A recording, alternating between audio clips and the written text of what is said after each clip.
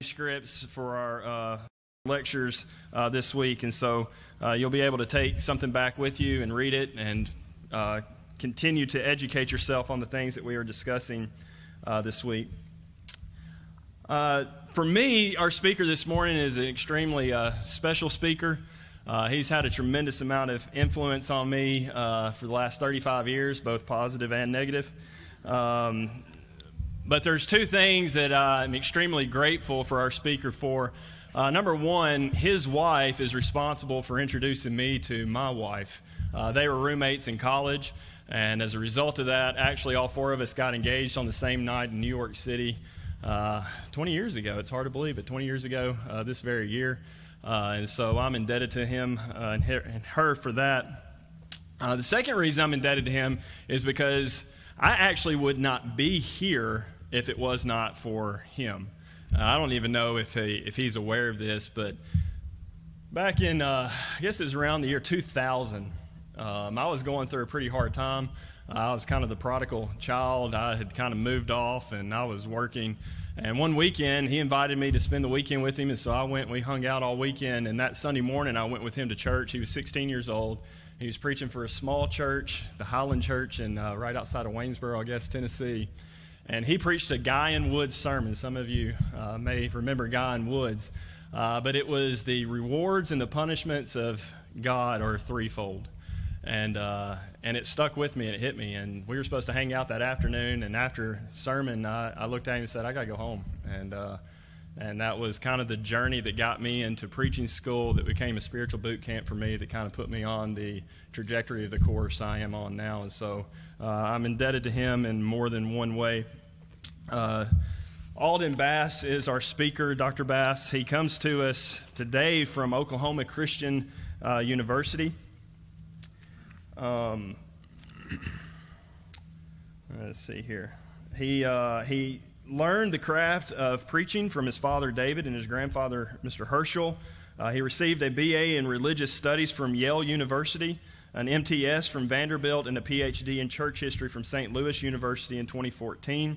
Uh, he's taught for Lipscomb, St. Louis Christian College, and for the past six years, he's been a professor of Bible at Oklahoma Christian uh, University. In addition to university work, Alden has held several uh, ministry positions. He's been an intern for Apologetics Press. Uh, for four years, he and his wife served as missionaries in Honduras. They also did inner city work in St. Louis with the North City Church of Christ for a decade, and he's currently a member of the Memorial Road Church of Christ in Edmond, uh, Oklahoma. Uh, he and his wife, Candace, have been married for 17 years and they have five children. And so this morning, uh, Alden comes to speak on to us on divine dialogue, an introduction to the book of Job. Uh, before he comes to speak, uh, let's pray. Dear most holy and righteous Heavenly Father, Father, we are so indeed grateful for your grace and your mercy and your loving kindness that you pour upon us every day. We're thankful, Father, that you have chosen to bring us to this place at this very hour so that we can study your word. And Father, we just pray that uh, you be with Alden as he speaks. Uh, we pray that you fill him with your spirit. We pray that you fill him with truth. And uh, we pray that he will give us the message that you would have him to speak to us at this time. We ask this prayer to be in your will, not our own. In Jesus' name we pray. Amen.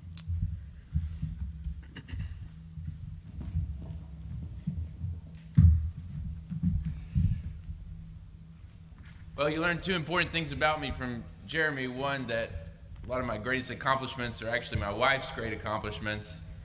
And the other is that my best lessons come from somebody else, too.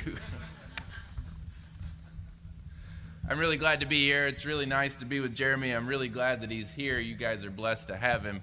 I've known him and his family my whole life, and I can't think of any other people that my life is more entangled with than with the Pierce family. So it's really great to be here. The book of Job is one of the most enigmatic books of the Bible. The setting of Job is ambiguous. Little can be said with certainty about the time or place where the story occurs. It seems like Job and the other characters in the story are from the lands east of the Jordan, from Syria, Arabia, Mesopotamia, away from the main stage of Israelite history. And they're Gentiles yet they know. The Jewish Talmud records that Job lived in a time before the Mosaic Law, a placement which helps us make sense of the total absence of references to the Mosaic Law. And the Greek Septuagint links Job with a king of Edom that's mentioned in Genesis 36, a king named Jobab. But these are minor connections that don't really tell us much. The text itself Job 1 1 says, He was blameless and upright, a man who feared God and turned away from evil. And that's what we need to know. The majority of the book, chapters 3 through 37, consist of a series of dialogues between the righteous man Job and his friends, Eliphaz, Bildad, Zophar, and later Elihu. No other book of the Bible, with the possible exception of the Gospel of John, is so conversational. The main topic of these dialogues is the justice of God. Job, you see, had suffered immensely. In the first two chapters of the book, he loses everything his considerable wealth, his home, his ten children, his wife, and he's also stricken with a disease and cast out of the community enduring both physical pain and the social stigma of the unclean. Even his family turns away from him. But most painful of all, it seems that God himself has forsaken Job. Despite Job's faithfulness and righteousness, God has allowed this suffering. Perhaps God is even the cause of this suffering. And so Job cries out to God for answers. God's power, God's sovereignty, Job never doubts. If you look at chapter 9, he says, God is mighty in strength. It's verse 4. Verse 5, he's able to move mountains. Verse 6, he can shake the earth. Verses 8 and 9, he's the creator of all things. He says in verse 19, if it's a contest of strength, he is the strong one. If it's a matter of justice, who can make him answer for anything? He recognizes this point that God is all powerful and that God can do what God wants to do. Job wants answers, but he doubts that God is paying attention. He says in chapter 9, verse 16, If I summon God, and he answered me, I do not believe that he would listen to my voice. His friends, his companions, they have answers for Job, rooted in a certain kind of wisdom tradition. They speak out of a wisdom tradition that was common across the ancient Near East. It can be found in the wisdom literature of Sumeria, of Babylon, of Egypt. And it's a tradition which is represented in the biblical Proverbs. For instance, Proverbs 10, 16, and 17. The way of the righteous leads to life, the gain of the wicked, sin. And you hear something similar in many of the Psalms. For instance, Psalm 37, 25. I have not seen the righteous forsaken, nor his seed begging bread. The wisdom of these traditions is straightforward the righteous are rewarded, and the wicked are punished. And, you know, we kind of make sense of this by thinking, well, eventually the righteous are rewarded and the wicked are punished. But the texts are clear. For instance, Proverbs 11:31, the righteous are repaid on earth. How much more the wicked and the sinner? They're not thinking about the afterlife. They're thinking in this life, the righteous are rewarded and the wicked are punished. Now, there's a tension between Job and his friends because his friends are saying, hey, look, you're being punished. You must be wicked. And Job is insisting on his innocence and his righteousness. And this tension between Job and his friends is actually mirrored in the biblical text itself. Because on the one hand, we have the Proverbs which present a predictable and stable moral universe in which good is rewarded and evil is punished. Proverbs 11:21 Be assured the wicked will not go unpunished and those who are righteous will escape. On the other hand, we have the book of Ecclesiastes, which says the opposite. The race is not to the swift, nor the battle to the strong, nor bread to the wise, nor riches to the intelligent, nor favor to the skillful. But time and chance happen to them all. Ecclesiastes 9:11. Like Ecclesiastes, Job's story challenges this predictable moral universe of conventional wisdom. Job says in chapter 12, verse 6 the tents of the robbers are at peace. They should be punished, but they seem okay. Guided by this conventional wisdom, Job's friends keep insisting, You must have sinned, Job. You must have done something. Eliphaz in chapter 4, verse 7 says, Think now, who that was innocent ever perished? Or when have the upright ever been cut off? Even though his friends are reflecting or are articulating a biblically informed wisdom, Eliphaz is just saying something like you might hear in Proverbs. The friends are rebuked by God at the end of Job. Chapter 42, verse 7 My wrath is kindled against you and your two friends, for you have not spoken of me what is right, but my servant Job has. When I'm teaching, I often present this apparent contradiction to my students. And I say, which is it? Do we live in an ordered moral universe where the righteous is rewarded in this life? Or do we live in a chaotic moral universe where the good sometimes suffer and the wicked sometimes enjoy rewards. Which one is it? And the answer, of course, is yes. yeah, both are true. Generally speaking, we recognize the wisdom of the Proverbs. Generally speaking, if you do right, you will enjoy rewards in this life. And if you do evil, you're going to suffer. That's generally true. And that's why the wisdom literature of the Sumerians and the Babylonians and the Egyptians, they knew that too, because you can just look and see this is a fact about the world. And yet, all of us know there are exceptions. All of us know that sometimes the innocent do suffer through no fault of their own. And we have Job and Ecclesiastes to help us make sense of those exceptions. But if you read through Proverbs, there aren't any little footnotes that say, see Job for exceptions. Or read Ecclesiastes for another perspective. Instead, we have all of those books in our Bible because God expects us to read all together and to actually see these perspectives on the world. In other words, the wisdom of the Bible like the wisdom in the book of Job, is presented as a kind of conversation. Job spars with Eliphaz or Bildad, just as the book of Job grapples with the book of Proverbs.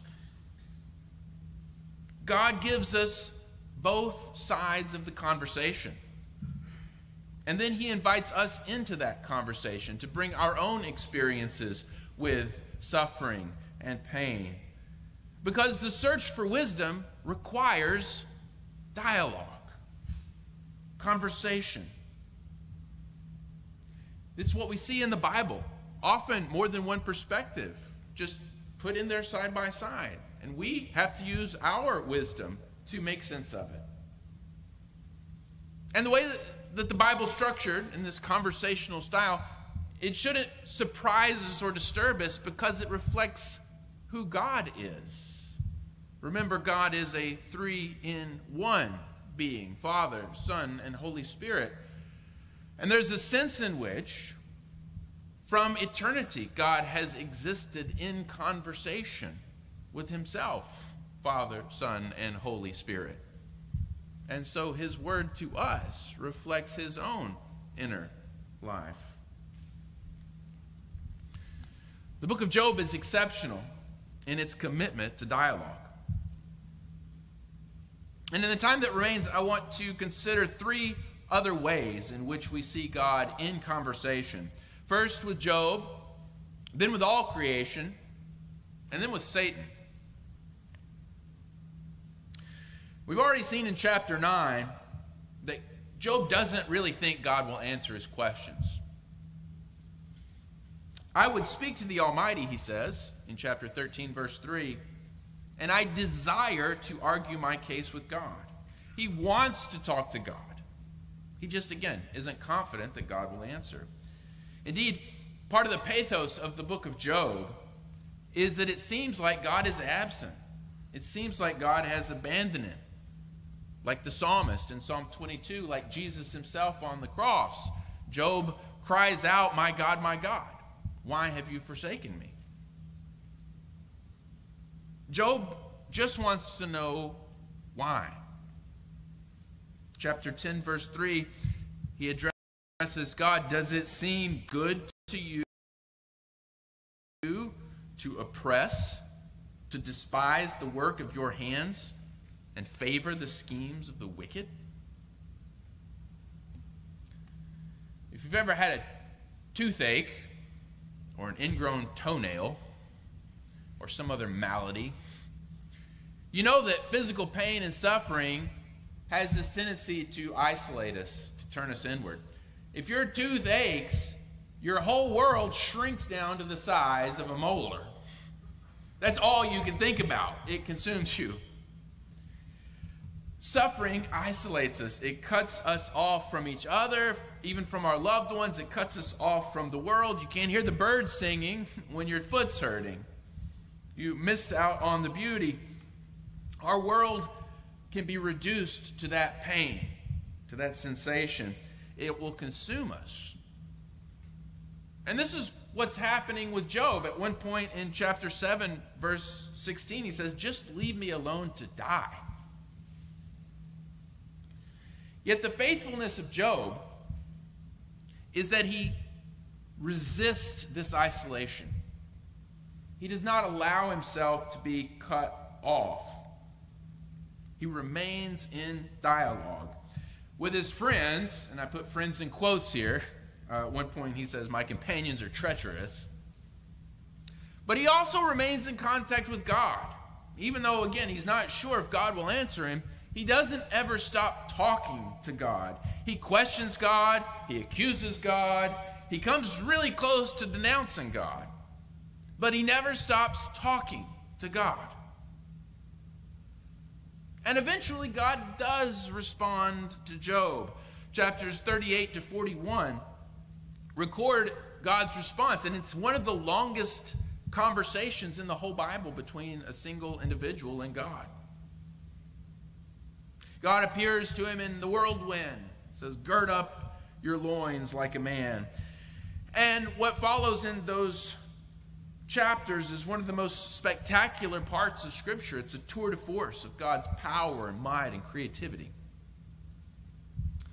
Yet, many modern commentators have observed that in that monologue, God seems to be ignoring Job's fundamental question which is why do the righteous suffer? God just seems to be showing off his mighty power.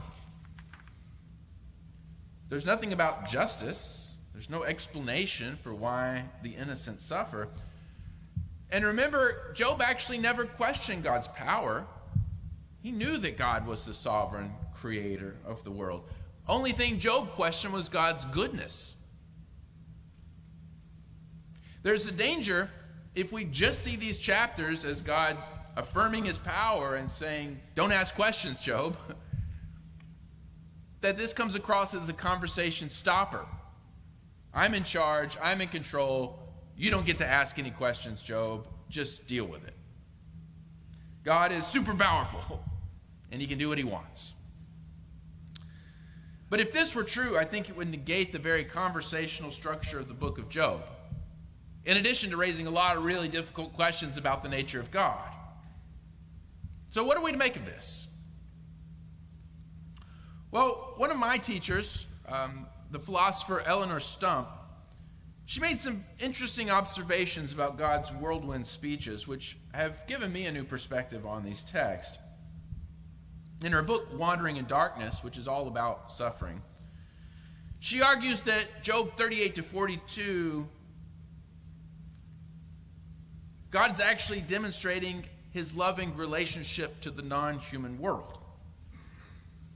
If you read these verses carefully, you'll see that God portrays himself as a parent and the elements of the created order as his children. For instance, the morning stars are called the sons of God, chapter 38, verse 7. And in the very next verse, God adopts maternal imagery, presents himself as a mother. He says, The sea bursts forth from his womb. God used the clouds to swaddle the sea like an infant like a mother's, you know. The ice and the hoarfrost are produced from God's womb, chapter 38, 28, and 29. And then back to paternal imagery in 38, 28, where he is the father of the rain. He also has this relationship with the animals. In chapter 38, verse 41, the hungry ravens don't cry out to their mother, they cry out to God. Chapter 38, verse 40, he feeds the lions. Chapter 39, verse 9, the wild ox spends the night at God's crib. And none of these examples compares with the great delight that God takes in the monsters, Behemoth and Leviathan, the first of the great acts of God, the king over all that are proud. When God describes Behemoth and Leviathan, he sounds like a proud father bragging about his children. God plays with Leviathan, chapter 41, verse 5, like a bird, like a pet. And to this absolutely terrifying creature, chapter 41, verse 3, God speaks soft words. God is not intimidated or threatened by this creature, but he has a relationship with these monsters. God is all powerful, no question. God rules creation, but God is not a tyrant over creation. God is not saying in these texts, just shut up, I'm in charge. Just deal with your suffering, I'm the strong one here. It's quite the opposite. God's power is not the same kind of power as the tyrant. It's not the power of force and strength. God's power, as presented in these chapters, is the power of speech. The soft words that God speaks to Leviathan are like the words, the soft words, which God used to bring creation into existence in the beginning. Let there be light. You see, in other creation stories from this time period, you know how the gods make the world.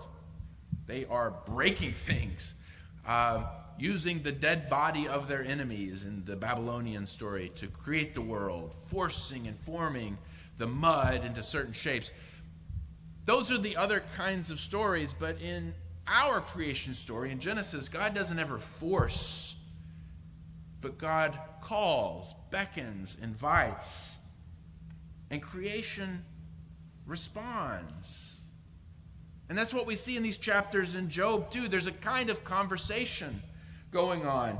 Because what happens when God says, Let there be light? Job 38 7 says, The morning stars sang together, and all the sons of God shouted for joy. The response of creation is to sing and you see the back and forth. God speaks, and then creation or sings, shouts for joy. There's this back and forth. In Job 38 25, when God speaks to the lightnings, the lightnings say, Here we are.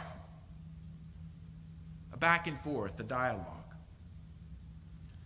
This is how Stump sums this up in her book. She says, God relates to everything he has made. He deals as a parent with his creatures, from the sea and rain to the raven and the donkey, monstrous behemoth and leviathan. He brings them out of the womb, swaddles, feeds, and guides them, and he even plays with them. Most importantly, he talks to them. And somehow, in some sense or other, they talk to him in return. if this is a fair reading of the text, then what God is stressing to Job in these final chapters is not his sheer power, but it's rather his personal, even parental relationship of care for all creation, which is exactly what Job is concerned about. Does God care? Is God good? And if God shows care and concern for even the smallest creatures, will he not also care for Job? Before closing, we have to say something about the framing story in chapters 1 and 2. Not only be comprehensive, but also because these chapters potentially cut against this argument that God cares for Job. It would not be difficult to read the opening chapters of Job and see Job as a kind of pawn in a heavenly game, a kind of the object of a gentleman's wager between God and Satan. Job just gets caught up. So, what's going on in those first couple of chapters? Well, once again, we have a conversation, but this time in the heavenly realm. The Bene Elohim, the sons of God, are presenting themselves to God. And among them is one called Hasatan, Satan, the accuser. This being is also a son of God. But he is an estranged son, one who is no longer at home in the Father's presence. This being, Satan, is opposed to God. And he's even been actively working to turn other people against God. When God mentions his faithful servant Job, Satan already knows about Job. And he already knows about this protective hedge about him, presumably because he's already tried to attack Job, but unsuccessfully. Stump makes sense of this story through the analogy of an estranged child. I love this picture. An estranged child who shows up for a family dinner unexpectedly. And maybe some of you can relate to this story. The child isn't unwelcome at home because it's a child. But the relationship is strained. This is a child who's left. This is a child who's turned away, who's rejected the family in some way. The parents might ask the child, What have you been up to? What have you been doing? And of course, what does God ask Satan? Where have you been? What have you been doing? I've been roaming the earth to and fro. Stump argues that God's questions to Satan, of course, he's not gaining information from Satan, he knows what Satan's been doing. But the questions that God asks to Satan are, are the same kinds of questions that a loving parent might ask to an erring child in order to bring them back. And what does God do? He offers up Job as an example of a good son. Hey, have you noticed Job. Perhaps so that Satan might reconsider his own rebellious stance and return to his father. Now, it's not clear to me if Satan's capable of repenting. We do know that he and the other rebellious angels are destined for eternal fire. Jesus says so in Matthew 25 41. But this portrait of a father who never gives up on a wayward son is consistent with, for instance, the parable of the prodigal son. And again, if God still cares even for the rebellious Satan, does he not also care for his servant Job? Now, you could still argue that God seems to be sacrificing Job to make a point to say He's willing to make Job suffer, to take away everything even if it was for the good of Satan, it would be hard to say God is good when he makes this person suffer, or allows this person to suffer. But if God had refused to allow Satan to test Job, if God had said, No, I have to keep protecting him, he would have demonstrated a lack of confidence in Job. I think this is a really interesting point. We all know that Job is faithful to God. I know that my Redeemer lives, though he slay me. But what the prologue of Job shows is that God also believes in Job. Enough to allow him to endure this terrible suffering because God believes that Job will make it through.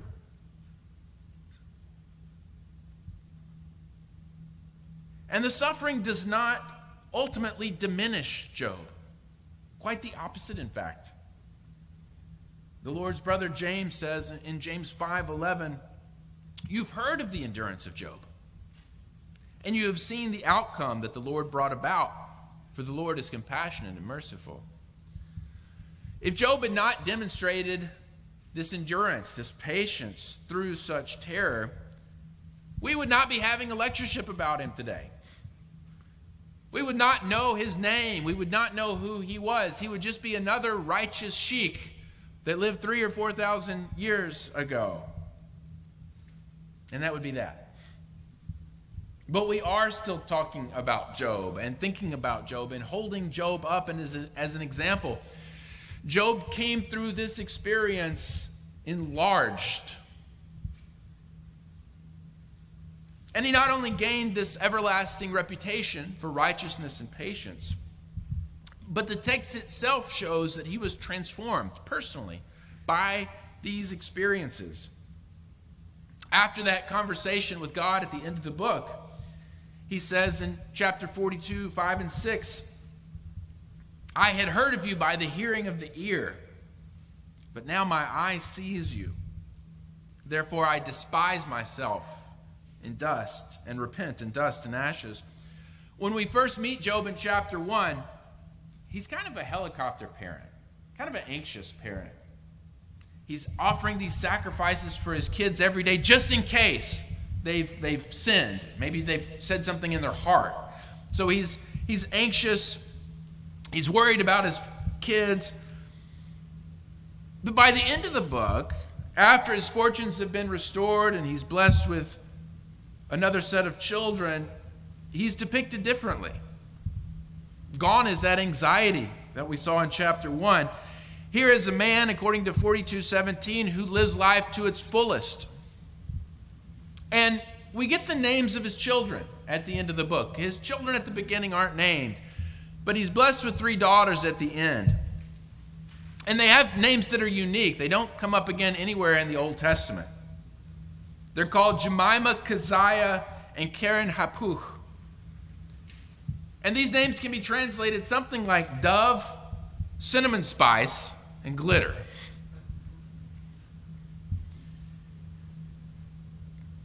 As one Old Testament scholar says, it seems like Job has named his daughters with pizzazz. He's a different man at the end of this than he was at the beginning.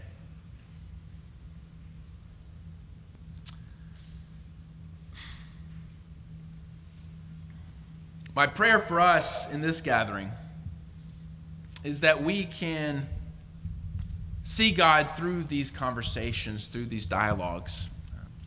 I think we often experience God sort of speaking one way, and it's just up to us to deal with it. But Job, Job, who has this deep relationship with God, Job is able to speak, God speaks back, and the conversation continues. It's a conversation that we have personally with God. It's a conversation that we enter to into Scripture, the Word of God, which is also potentially a kind of dialogue, just as we pray Scripture. And of course, that we can talk to each other. It actually seems really easy to talk to God and to understand the Bible when compared with just trying to get along with each other sometimes in the midst of our own disagreements. And especially in the face of those hard things suffering and death, grief and anger, the nature of God, how to run the church, how to run the college, I don't know. And my prayer is that God would bless us in that dialogue and in those conversations, whether it be the lingering existential questions or the everyday things that we have to get through. And my prayer is that, like Job, we would not be diminished by these conversations, but that we would be transformed. Transformed by our encounters with each other, transformed by our encounter this week with this enigmatic but brilliant book of Job, and by the loving Father who has inspired it and safeguarded it through the ages to us. We have about five minutes. Jeremy said you don't normally have questions, but uh, if anybody has anything they want to say, I'd love to hear a response or a question. I've just talked about conversation and dialogue for 30, 40 minutes. I should practice that. yeah.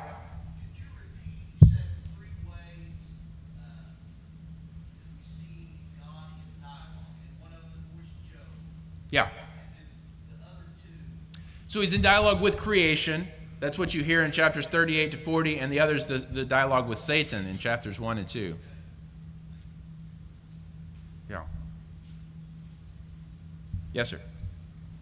Would I be accurate to say that Job did not truly know God? Well, I think it's always accurate to say he didn't know God fully, which I can say about myself, you know. So he does come to know God more deeply through these experiences. Yeah. Yeah. Absolutely.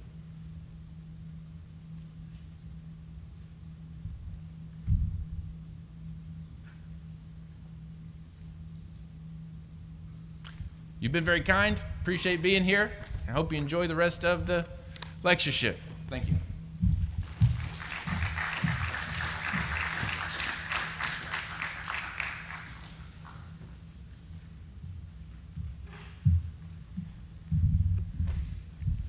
Thank you, Alden. Um, we'll take a break until about 10 o'clock. At 10 o'clock, we'll have our split classes. Uh, ladies, uh, you'll be over here to my left, to your right. Uh, guys, we'll be over here to my right, to your left. Uh, on the ladies' side, we will have with us Miss Karen Summit. Uh, Miss Karen uh, works with the women's ministry at the Seventh Mueller Church here in Paragould. Um, when you walk in, students, when you walk into the cafeteria and you see the, the paintings of the two individuals, the man and the woman hanging there, uh, that's Miss Karen's parents. Uh, they love this school. She loves this school. And I can assure you, uh, you will not be disappointed in what she has to present today. Uh, and then I will be more disappointed on this side because I'll be speaking uh, to the guys. Uh, but this year we're doing something a little bit different with the classes, with the men and women. We're giving the same topics to both. Uh, and so uh, the topic for the 10 o'clock hour is going to be loneliness and isolation. Uh, you're going to see that this is a growing pandemic uh, throughout generation, from generation to generation. The younger the generation, the more uh, we struggle with these uh, issues. so, very relevant topics, and so students, particularly, I think you're going to enjoy those. in the time of the break, please fellowship with one another. Uh, if you are a guest and you're hungry, we have some muffins and danishes on the table. Uh, I need to be clear about this. I don't want to yell at any students. I got accused of yelling at students last year. I'm not, I'm not wanting to yell, but students, that's just, I'm sorry, that's not for you. If you get hungry at the cafeteria, uh, you know where it's at, or you can get something at Peach Treats. Along those lines, for our guest, um, if you like coffee, uh, at Peach Treats, you can buy a mug and you can fill that mug with coffee all week long. And so, uh, if you really like your coffee, uh, please invest in one of our CRC mugs um, and drink coffee. Am I forgetting anything? Okay, we'll take about a 10 minute recess or 15 minute recess, and then we'll uh, join back up for our classes.